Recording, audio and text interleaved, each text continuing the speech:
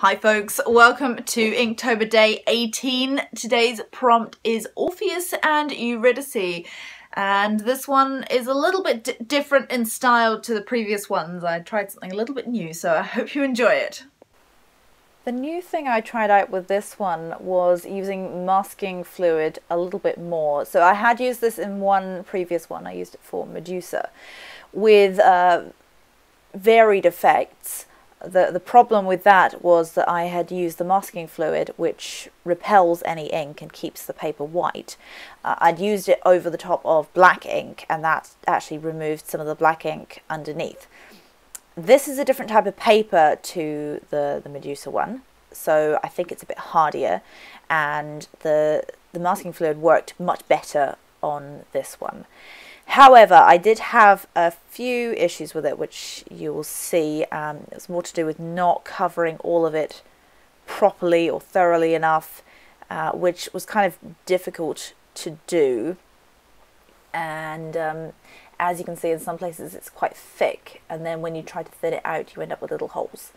Um, and I didn't fill in the whole middle bit either. But yeah, but apart from that, it did work pretty well. I planned this one out ahead of time on um, on my iPad, so digitally, and I'll show you the comparison between the two a bit later because I think it's interesting to see how the, the traditional media works versus digital, and you know both have their merits. Uh, but yeah, as you can see, the the story here is Orpheus and Eurydice, which is a terribly sad story. It's probably one of the most tragic stories from, from Greek mythology, I think. Um, mostly because it's so to do with sort of human folly. Um, so Orpheus, Orpheus, I guess, isn't strictly human, but you know, he's he's a son of Apollo, which means he's really good at music and poetry, and that's kind of his thing.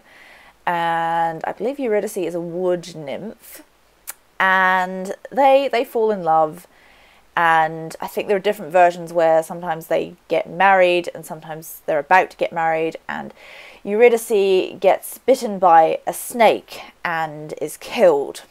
I'm not sure if the snake is sent by one of the gods. That seems like a likely thing, uh, but in the versions I read uh, to revise just before this, uh, it, that wasn't the case. But you know, wouldn't be surprised if it was some vengeful god. Um, let me know in the comments if you know of a version where it is.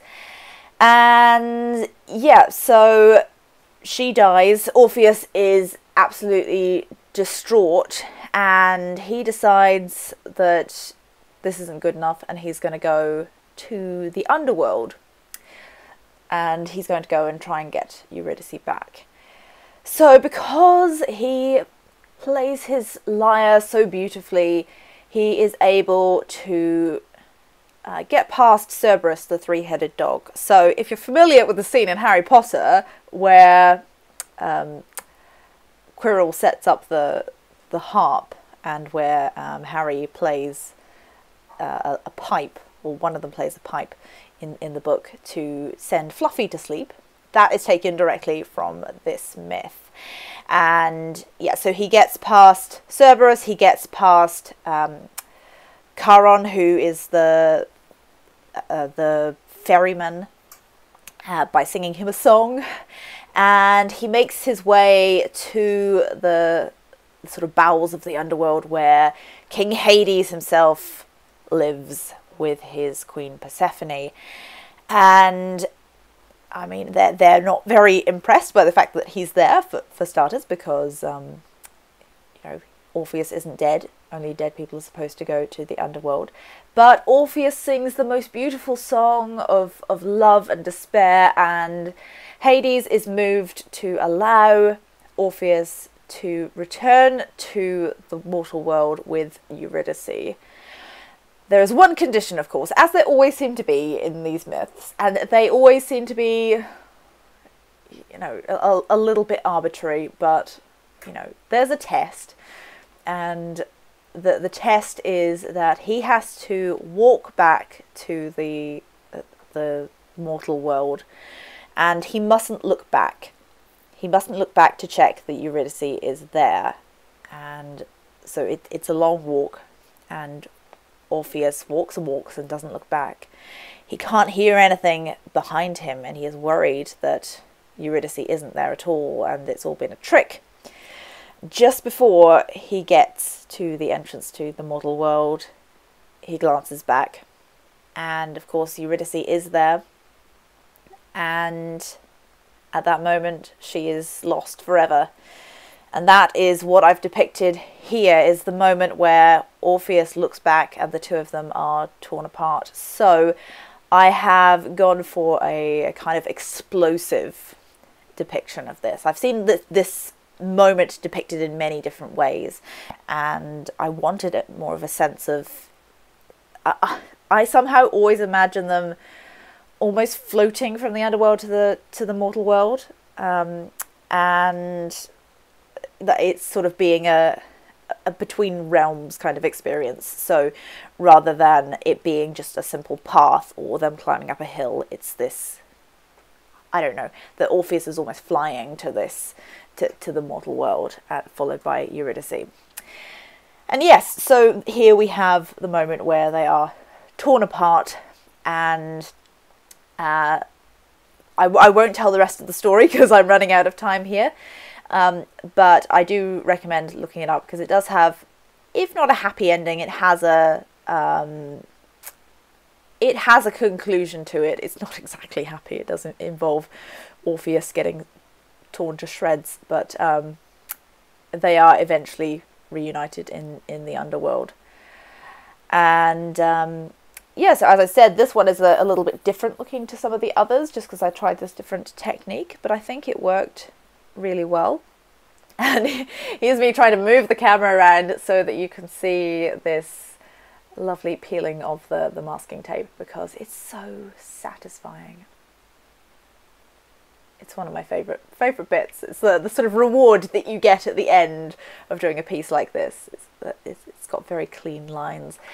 And yeah, as you'll see, or as you saw before, I used a kind of flicking method to get the, the gold paint everywhere and I used a little bit of silver as well, just give it a little bit more depth and that was that was new. I got ink all over my fingers, and it, this this one was quite messy actually. You can see bits on the table as well, which probably won't come off, but it's okay.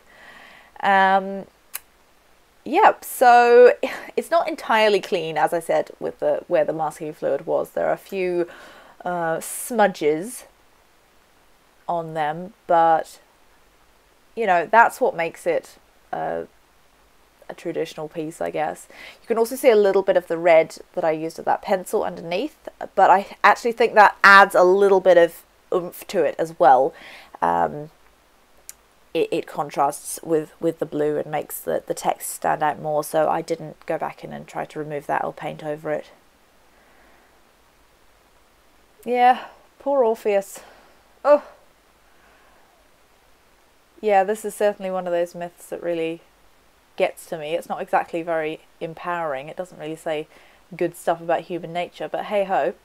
Um, so here we are. This is the on on the right, of course, is the iPad version of it that I did ahead of time. It's a lot cleaner, but it doesn't have the same energy and uh, sense of randomness to it, I guess, that the um, the painted one has. So just interesting to see how those two things compare. Anyway, that's Orpheus and Eurydice. I'll go back to myself to sign off. So that was Orpheus and Eurydice. I'm, I'm pretty pleased with how this turned out. It was interesting to see how it compared with my plan for it and how working in traditional media compares to working digitally. Uh, tomorrow's prompt is Ganymede, which I must say I'm really pleased with how this one's turned out. Uh, like I've said before, I'm a bit ahead of myself so I've already finished this one and I think it might be my favourite yet. So I will love you and leave you and see you tomorrow and if you want to be notified about these videos you can subscribe and hit the, the bell button. That's something you can do if you want to. Um, and I'll see you tomorrow. Bye!